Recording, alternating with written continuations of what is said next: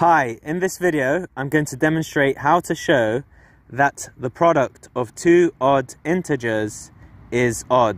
So what's the solution? Let p and q be odd integers. Then there are integers a and b such that p is 2a plus 1 and q is 2b plus 1. Hence, p times q is 2a plus 1 times 2b plus 1. And this gives us 4ab plus 2a plus 2b plus 1.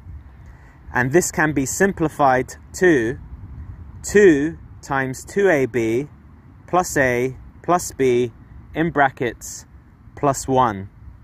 Now here we can say that c is 2ab plus a plus b and we have an expression in the form of an odd number.